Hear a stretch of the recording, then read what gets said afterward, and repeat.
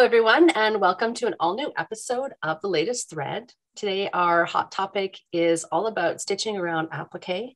We have a ton of gorgeous quilts from all of us to show you and share some tips and ideas um, for you when you're quilting with applique or around applique. So, does anybody have anything to jot or to, to mention before we get right into our big photo album?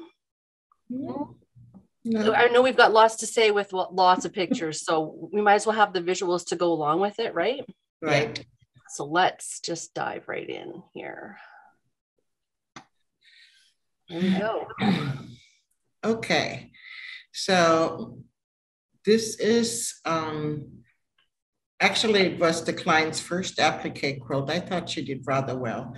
And I know I've shown this before in another episode, but it was appropriate for this one, I thought. So um, when we quilt applique quilts, especially for others, you know, there's it, it's always good to ask what the client's expectations are in regards to the applique. Is it okay to quilt inside the applique? Because some people still believe that you can't. And then if it's a large applique, you know, it it just poofs out. And I think that when you add some quilting within the applique, it makes it look more realistic. As for example, you know, the birds look more realistic as I went inside, like just barely around the wing or just doing a little detailing. The same with the flower. It makes the applique look you know, more alive, I guess. What do you guys think?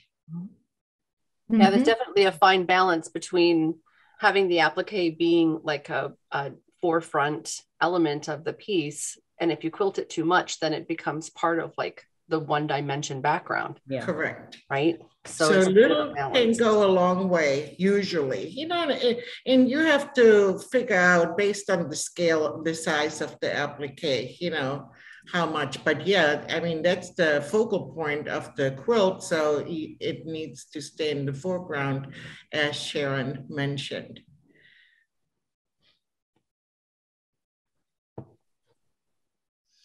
And this is an example um, that is applique, but a, an example of an edge to edge.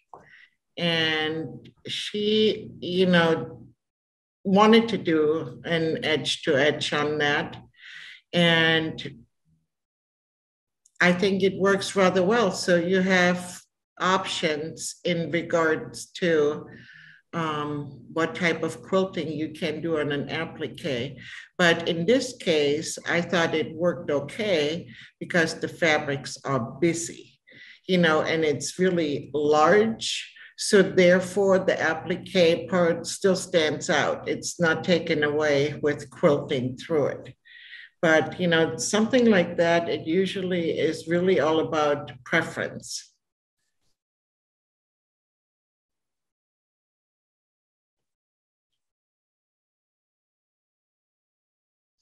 And this is another example. This is a wool applique quilt and I actually do quite a bit of those. I know Sharon, you do too. Um, and those are just a different beast, I guess I want to say, because they're physically more challenging.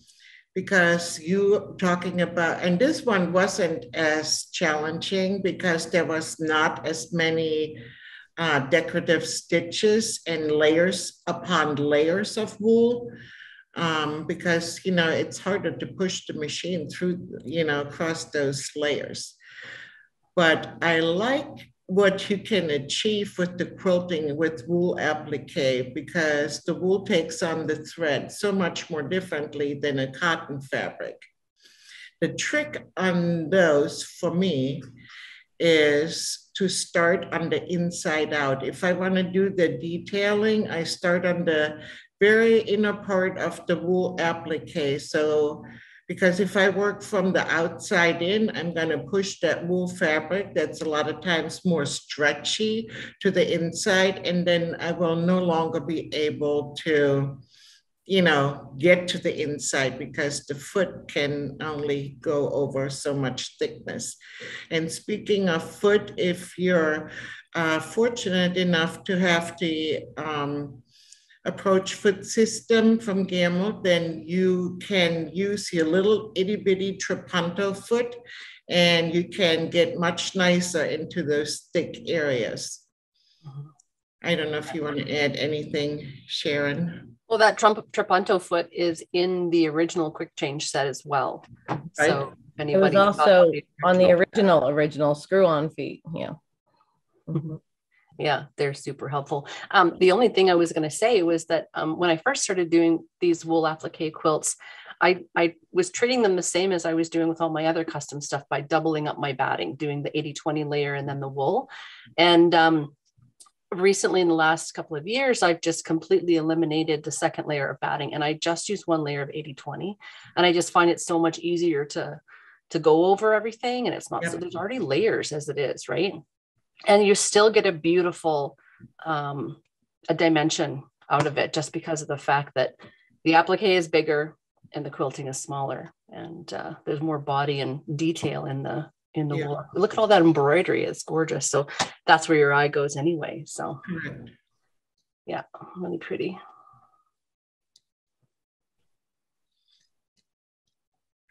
And this was another example of what I was talking about when you have the large, you know, applique.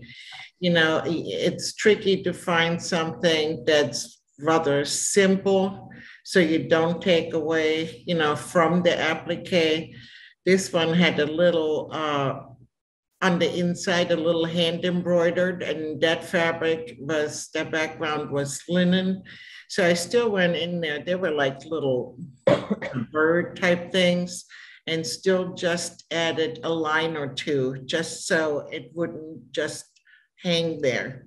And again, the linen itself is, um, it takes on the thread very differently again compared to the cotton and the wool. So it's interesting when you work with different materials, you know, how it shows up differently. Mm-hmm. Mm-hmm.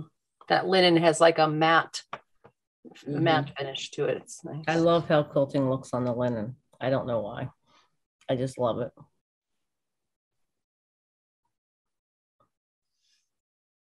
And this was somebody's quilt that wanted the background just like that, but in regards to the applique, you know, there's so much going on.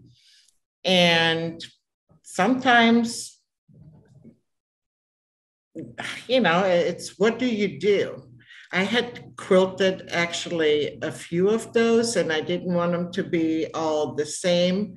So I just did crisscross lines through the applique. I did ditch around all the applique shapes and I didn't go through the bird that's on top. So it definitely still puts focus onto the applique you know, some people may not like that look. She she liked it. So, you know, different options for different people, I guess. Well, if you didn't do that, you'd have had to figure out something else to quilt inside on top of that applique because some of those mm-hmm. circles are pretty big.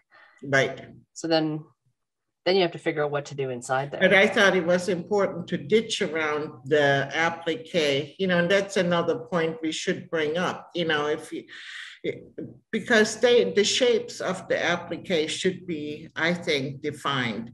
So even on the other ones, like the first one we showed with the birds and the flowers, you know, I always um, ditch around the, those applique elements, you know, to make them stand out individually. I think that's important. Yeah, well, there was a really, really great post in one of the Gammill Facebook groups recently, and a gal had actually posted a picture of, and it was like intense applique, lots of vines and leaves that were bending over and flowers and stuff. And she had done all her background fill, but she had asked, was asking, should I, uh, should I go back and ditch this? And I piped in, several others did that, you know, yeah. Um, and she posted a picture afterwards in the comments of what it looked like. And I mean, it's so worth it. Did you guys see that post? No. I But don't it- think so. It also depends on budget. Sure. I mean, some some quilts you have 12, 15 hours of just stitching. And if they don't have that that money in their budget, a lot of times I'll just as I'm doing my background fills, I'll just Mhm. faux ditch, I call it. I just hit it with my background fill the best I can. Mhm. Yeah, for sure. You know, and that's another good point you brought up, Karen, because people approach that differently. I know that I do it the other way. If I get a quilt like that, whether it's a wool applique or any other applique, I will do all the ditching first.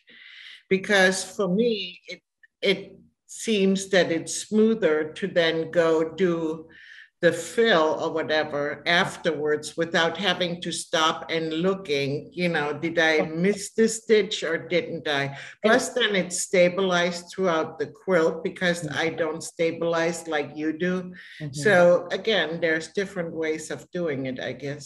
yeah, always. There's always 72 different ways. Yep.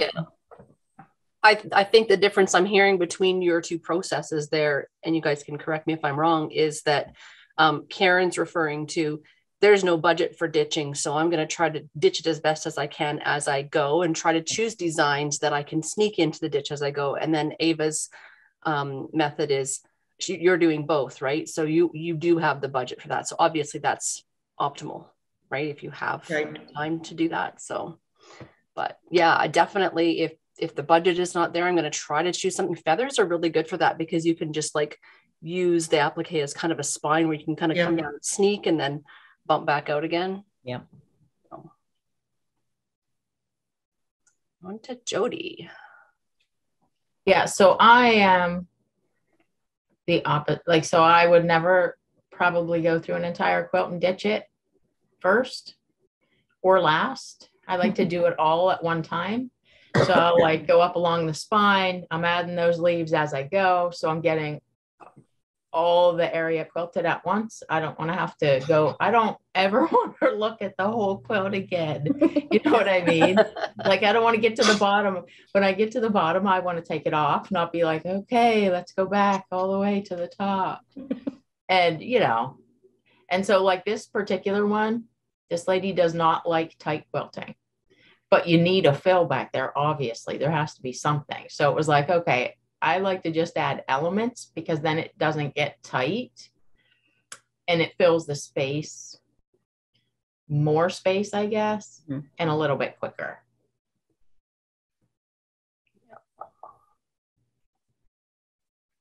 And then this is this one. I made this a really long time ago. And then years later, when I quilted it, it was like, yeah, I had grand plans, but I have this edge to edge I just drew up and uh, we're going to do it. And it's perfect. It's like the same shapes and Mhm. everything. So, yeah, I think it's fine to go right over it, depending on the quilt, obviously.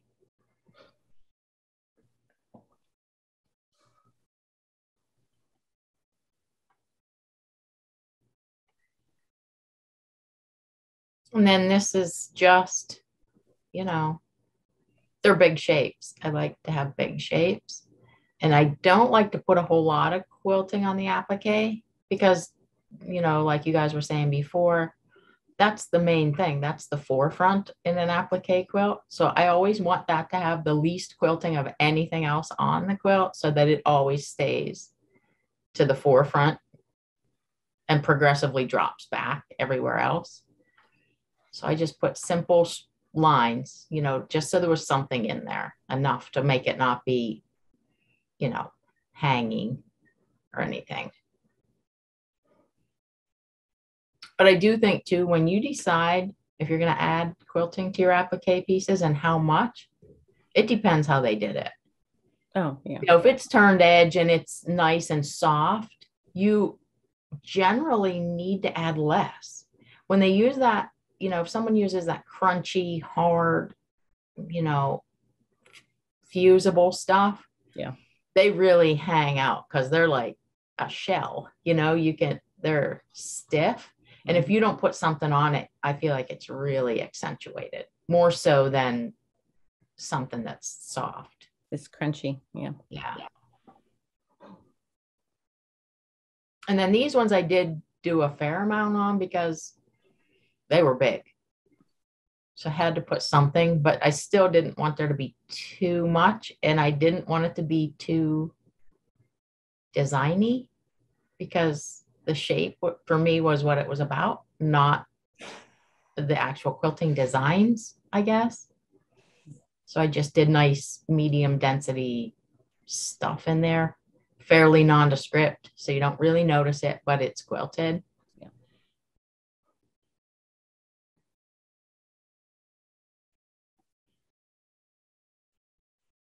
Then this one I did quilt the whole thing. Um, just because it needed direction. It needed to appear to do something. So I had to quilt something on it to make that try to happen. That was a lot of marking on that, I can imagine. it was a lot of marking. Oh my word. And to get all of those angles of those things going the right way as you go around the corners, my goodness. Yeah, well, Yeah. yeah, it wasn't fun.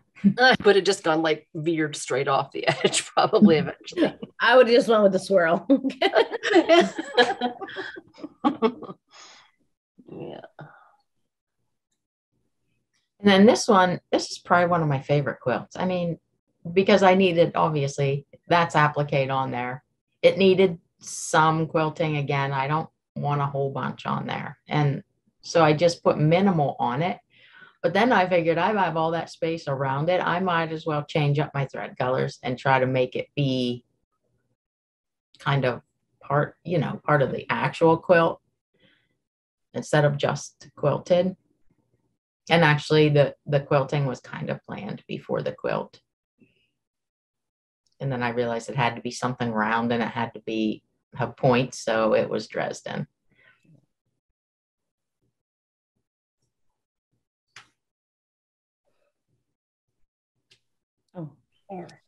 This is me. Um, and you'll see in my pictures, I like to make frames and I like the frames to be behind everything. So that's pretty much everything I do with applique. And well, you'll see it. But this one, I wanted the three levels. So we have the feather level, we have the frame level, and then we have that background fill. And yet every bas every line on that basket and every petal on those flowers is ditched. Everyone. So this is only a little table runner, but it had a really big budget. So this lady actually teaches hand applique. She's amazing. Yeah. Shows off her work. Yeah. And and the values of her colors. Did she paint this fabric? yeah, Um, she she does highlight the fabrics with some paint. Mhm. Although I was going to say she's a, a genius at picking the, all of the hues and values for the each of the flowers, right? Well, you she is because it's not even that much paint. Like it's Mhm. more detail than actual like painting of the fabric. Mhm. Adding a little bit of depth here and there, right? And highlight. Yep. This is the same client. And this one, yeah, well, there was no top to this quilt. The applique was just in the center and the bottom corners because the top was like a, a fold over for the pillow. So I just made more framework around it, went in and out of all that, ditched every every one of the appliques. Hmm. But I wanted something pulling your eye from that center out towards those corners. So that's the straight line pulled it through. It's gorgeous. It's sometimes hard to get quilting to show on black. Oh yeah. Really well. You gotta you, the light has to be just right and And yeah, this is outside, but this quilt was huge. So got to work for it. and again, like this design goes in front of the coral, but behind the mermaid. So I mean, it, if you want a design to go behind the applique, you have to have a little bit of planning, you know. So Mhm. Make sure it comes out the right flow on the other side. yeah, well, it's almost like you draw the line through everything just so that it's Mhm. continuous. Because you'd be, I mean, you think like from here to here is perfect, but if you just do this much, your eye sees that there's a break in that path. mm-hmm. Yeah.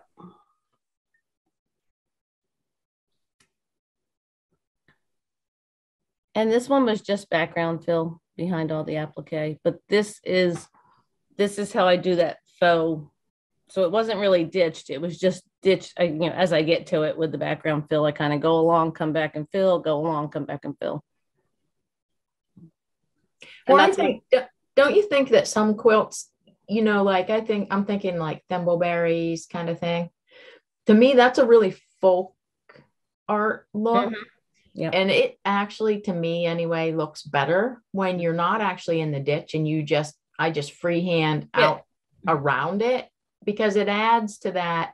I don't know. They almost have a little bit of a whimsical Yeah, that's what feel to them. a whimsy country, whatever you want to call it. Yeah, It's- country. And I don't know why, but I know I go to country, but it's not formal. You know, this was just a fun quilt, so it worked. Mhm. Well, and, and I think for this particular quilt, you know, the applique does stand out, you know, even that you didn't ditched it because of your choice of background fill.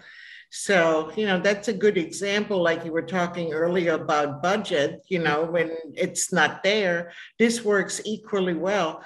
But I mm-hmm. think it's also, you know, because there is so many other things happening other than the applique with those nine patches that you framed. So your eye goes to that. And I see you did uh, piano border. So there's a lot going Well, on. And even like just the frame around the nine patch was enough. If I had gone back in and ditched all those nine patches, it would have took it from the fun whimsy to wow, it's getting really formal, you know. So yeah.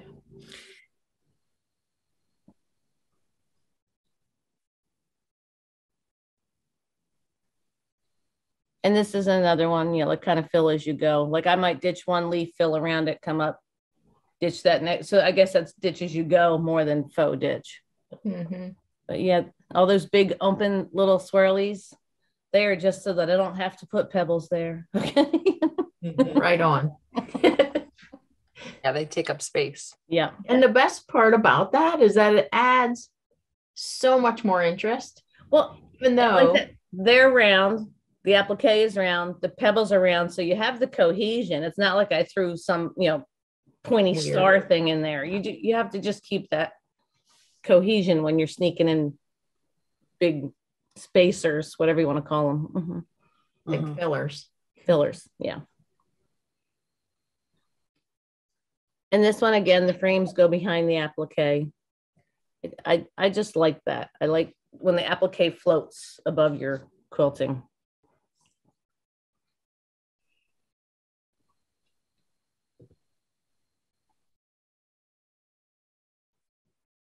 And this was just simple, just stitching. I mean, like I could have gone back and put more stuff on their bellies, but again, like Ava was saying earlier, wool, there's lots of layers. And she just wanted it soft and together. So that worked. I love owls. I love owls. too. I actually, I'm making this. The I have these owls patterns. I have like three done. So You have this one? yeah, I bought the pattern book. Mhm. Cute. Cute. There's some cute pieced uh pieced owl patterns too Yeah. out there. and I like ghosting the applique or you know ghost ghost quilting of the applique. I'm running out of words here. And then I just fill the pattern up to the pretend applique. But like if that had just been the sunflower with the, the background, it would have been okay. But just adding two more sunflowers in the quilting really made a difference. Mhm. Mhm. Yeah. I love it when you can use the a grid that's pieced as your Yeah. foundation for your quilting. Yep. Yeah. Makes life quick. Like it's lines, lines, lines, lines, lines. Yeah, no, I love that.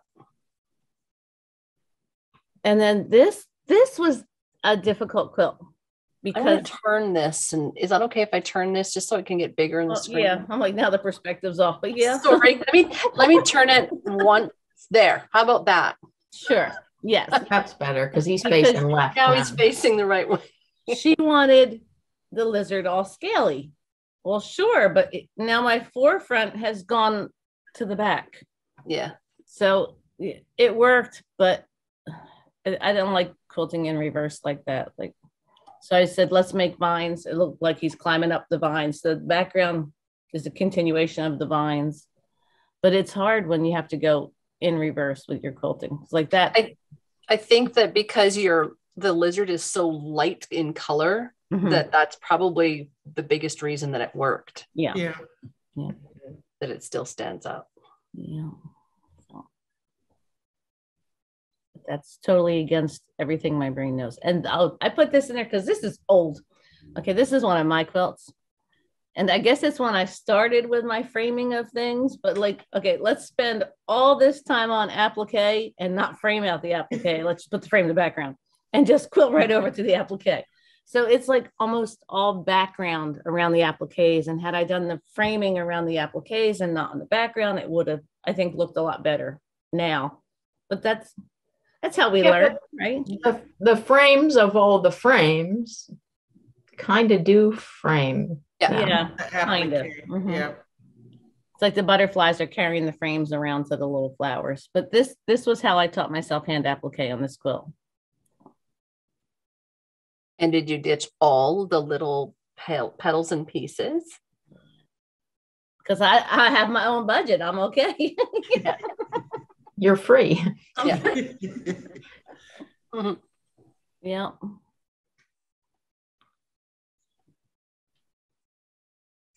It's funny when you go back and look at your own work, you criticize yourself so bad. So this, I'm again, I made frames around the applique blocks, but I took them into the pieced blocks because I wanted the pieced blocks to kind of just recede into the background. So they just have like match sticking in them so that the appliques pop forward within those frames, but still have dense background fills so that they pop up. And they only have minimal ditching in like the bigger pieces that need it. Mm-hmm.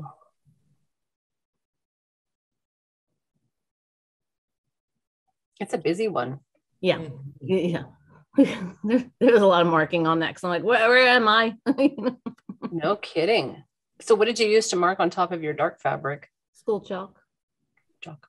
Mhm. And then this one again, I connected the appliques with with frames and then created a, like an intersashing that wasn't there, but it needed to be there. So, and I think that's I don't know, like kind of your responsibility as the quilter to see what could be there. You know what I mean? Like that was just solid background fabric, and the quilting actually broke it out into different sections. Mhm. Yeah. Well, and I think adding all that kind of stuff makes it easier to quilt, really. Yeah. Mhm. You know, now you have, uh, you know, some guidelines or areas or something instead of just this expanse of, background fill, right? Yeah. One It's easier giant background to- fill. Yeah, it's easier to visualize yourself, you know, the different sections and how you can, you know, work your way through the quilt if it's divided like that. Mhm. Makes more sense in your head, I guess. Yeah, like only four more hours of pebbles, and then I have 18 more hours of straight lines. I think the the big thing too with breaking that up isn't just that you know like what you guys just said, but the fact that for people that are intimidated by those just endless open spaces, it makes it less scary because Mhm. now I can just look at this one part.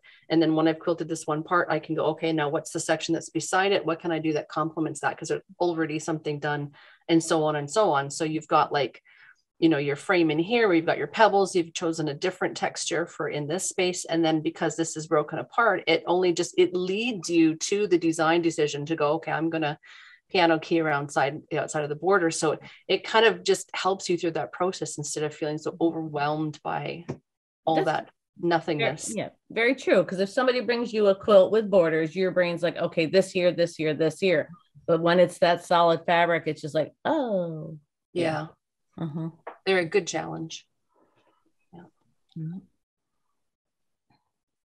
And then this one is just there's little little frames in between the appliques just because and again being overcritical of myself they're not really big enough because some of the feathers in the background fill are bigger than those little little framed areas but it worked at that moment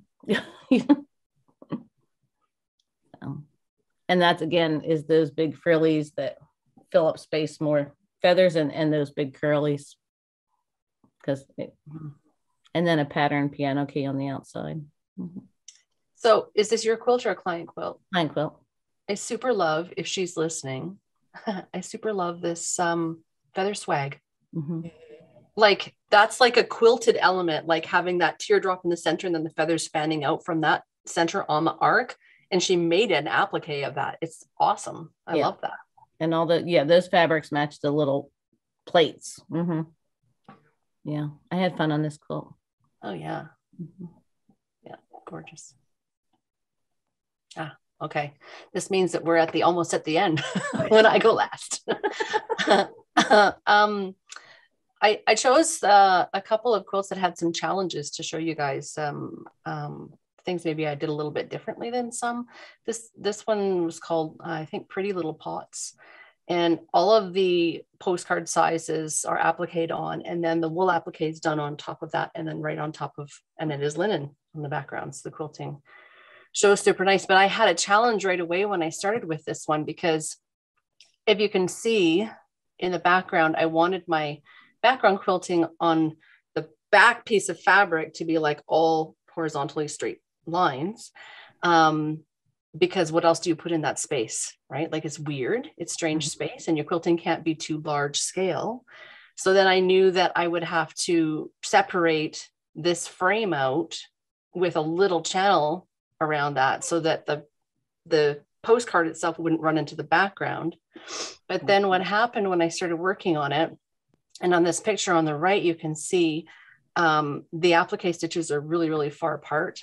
yep And then on the left hand side, you can see this little fold here in the corner. And then again, the applique stitches are like super far apart. So sometimes we actually have to stitch on top of the edges of the applique. So um, this is a close up of that same quilt. Uh, one of those postcard pieces. And uh, I did Jody's little trick where I just angled in instead of having to do a stop and start. Mhm. Uh, I just angled in on the corners and it, it really gives them a nice kind of like picture frame Yeah. Mhm. kind of look. But um, I, I told my client I am going to have to um, stitch right on top of the edge. It's like literally uh 16th of an inch or something like that, just on the inside edge. And then the same thing on top of the pots. Mhm. And better than watching the applique pop off yeah. well, that's just it, right? So you get a quilt that's mailed to you from across the country and you're, you know, they want this special work done on it. And it's like, okay, now if you just brush against it, I'm worried about something coming loose, right? And- so I if it goes to come, I've seen judges scrape their nail on the edge of hand appliques to see if it lifts. So I'm like, oh, wow. Wow. Just in case. with really tight stitches. Why are you being so violent with that yeah. So yeah, that one I did all the all around the edges and like sometimes we make those decisions because we have to, not because we want to or think that that would that's going to look good. So this is our design choice. Sometimes our design choices or the way we stitch things is just purely out of necessity as things happen. yeah. mhm. Yeah, I oh, ran into this problem. Now I have to work around that and do something else. Mm. So, um, and then I thought um, I would just share with you guys what my favorite two um, tools for using applique. Most of the time, I do it without um, a tool, but sometimes there's uh, some pieces where they're really intricate and you want to be really, really careful. And maybe the applique is really high contrast with the background, and you want to make sure you don't accidentally stitch over top of something. So, when I first started doing applique, I used the Deloa's applique, and that's the one on the right hand side. Um, and your your hopping foot goes right inside that little hook, but you've got to stop, lift up your needle, put the put it in there, and then lower your needle back down, and then stitch. And then as soon as you're finished using it, you have to do that same thing: lift it up, take it out, and then start again. Um, I graduated up to using this one, which I really love because it's got these little cutouts in the corner. Like a hugger. Yeah. mhm. Yeah. And so literally when I'm going around the applique, I can hold it like this and I can, um, because it's got a straight edge on it, I can right away turn it to do a ditch straight line, or I can just toss it to the side and, and, and keep going. So like when you're using one of those kinds of tools, you're almost like hugging the needle with like one hand on the handlebar or the handle of the machine and the other hand on the tool. And you're kind of like hugging to me anyway. I feel like I'm hugging the needle, going inwards, but then moving at the same time. Mm-hmm. And then because you've got a hand on the quilt, you got lots of control. Right. So I'm, um, I'm working on a new one, Sharon. I'll send it to you. Oh, cool. awesome.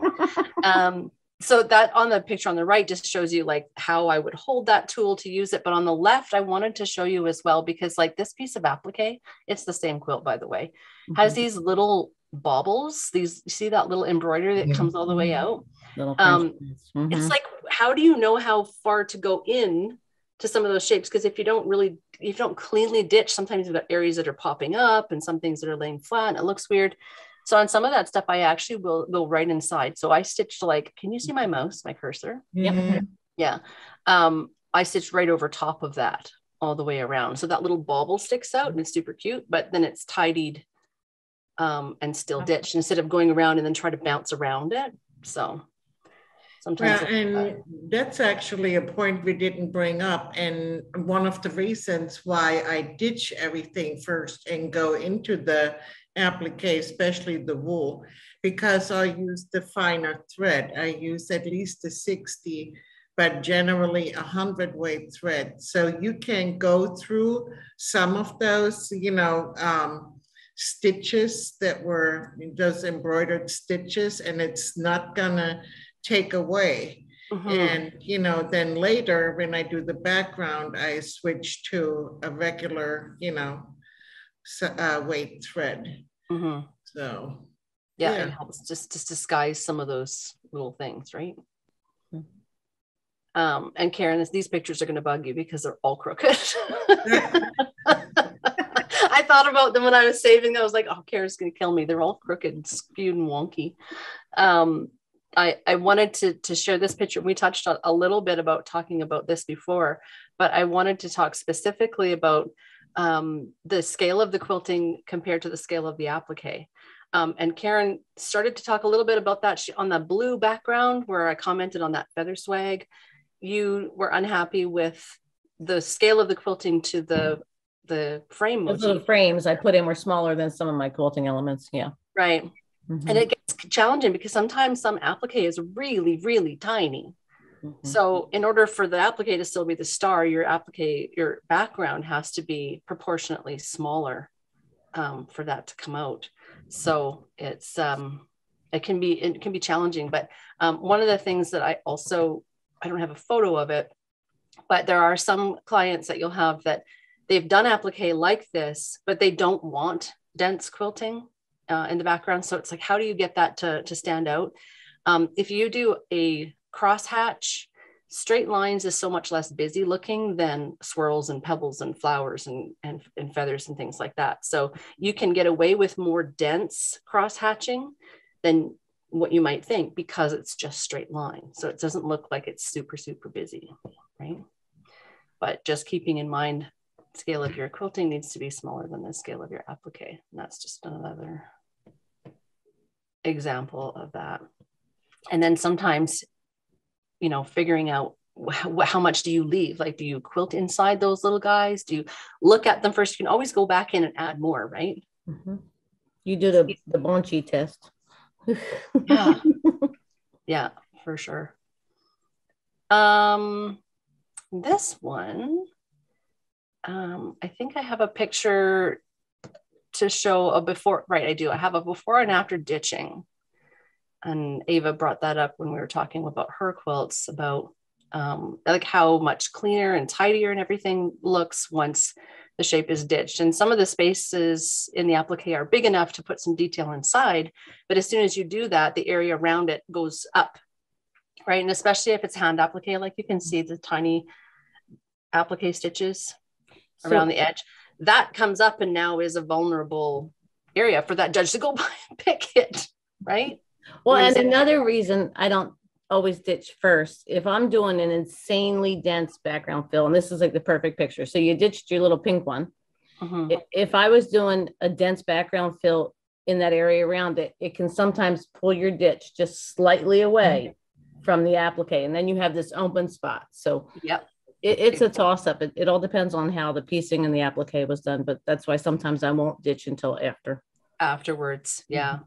Um, then this picture is just showing that same thing, but then ditched around the outside edge, and all of a sudden you have all that clear definition. It's, it's all perfect and neat now. yeah, the ditching is to me, it's just always worth it. Yeah. And then that's a picture of the block. And, and Karen, do you remember? I actually um, texted you with a picture of this one, going, "How much more quilting do I put in here?" Because I did quite busy quilting in the background already. We had this geometric sashing in between, and then all of the busy quilting in behind the background. But some of the fabric just looked like it was like sagging, Mhm. or like if you ran your hand over it, it would actually move. That that's the best test when when you release that the the tension on your rollers and you let it just hang. If the fabric is moving, it needs more. Yeah. It needs more, yeah, and that's like that's a, a great rule of thumb Mhm. to go by.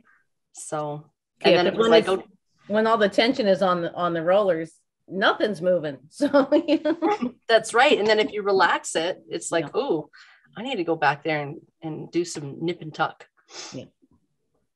Well, but for me, I learned I better need to walk away for a while because I have a tendency to overquilt. Over So I'm gonna step away. Yeah. Am I sure before I get committed to it? So when I, I I I had my hairdressing license, it was the first thing I did when I graduated from high school. Was I got my hairdressing ticket, and I the lady I learned from, she said you can always take more off, but you can't put it back on. right? so I kind of had that same philosophy with my quilting and always go back in and add more, right? Leave the Yeah. sashing to the last because if you quilt it first, it'll be overdone, right? Stuff like that. Um, it, it was interesting that Karen brought a, a picture of um, that. Uh, was it a leopard gecko or not? It wasn't a leopard gecko. It was some sort of a lizard, right? Yeah. Lizard. about having to quilt that down, but not wanting it to like fall back into the background. And this was the exact same um, kind of scenario with this wreath quilt, Yeah. except um, I did I did have to go in and quilt all of that. I mean, we probably got six inches across of width of space around that wreath Mhm. and she hand pieced all of those little hexagons together. So it absolutely 100% needed some quilting, but that we still want the wreath to be the star. So I did go in and quilt all of that um, first, and then I took it off the frame and cut all the way around the outside edge. Um, some people do it with just a layer of batting. I just find that's too stretchy for me. I've tried it and I just don't feel comfy doing it, but um, you can do it with just batting. But I just put a piece of extra fabric on the back. And then I sat with my Karen Kay Buckley scissors and just trimmed as close as I could all the way around the edge. And then I loaded it back down and quilted the second time only around the outside. So no quilting in here on the second pass, Yeah. except it's quilted, but it's it's still forward. Um, but it is a lot of extra work Mhm. right? And I was like, I did say to my client, Are you ready? Because if you want this to be done, I mean, this is going to take me X number of hours extra. Um, and totally, totally worth it. I mean, that that sucker's like you look at the shadow there, it stands Mhm. right up.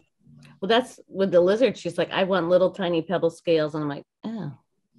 Even with your punto, eh. you know? Yeah. Yeah. I did that with my leather dragon. I quilted the scales on the dragon and then this exact same method and I cut it away and then loaded it the second time and just quilted around the body of it. Um, and I did learn that from uh, Kathy Wiggins. It's uh, her her technique is called she calls it quilt before quilting, but you can like I mean I've heard people refer to it as other things as well, like fake trapunto. Mm. But it's clever but time consuming. Oh yeah. Yeah. And that's the difference between your quilt and a client budget quilt. Yeah. hmm yeah it can be or one that they're like you know what there is no budget i want this to be um you know showstopper i want this to have a ribbon on it or something Yeah. right so well we had some awesome pictures i hope Yeah. everybody learned um tons of stuff i know that every time we do one of these episodes i learn something from each of you guys so i love that so um, share us some tips and tricks if you want to in the comments on the video. Uh, show us some of the applique work that you've done. If you've got maybe a suggestion that we didn't talk about, we'd love to see that too. Mhm. And uh, if nobody has anything else to share, Nope. we will see you all next time on the next episode of Latest Thread. Take care. Bye. Bye.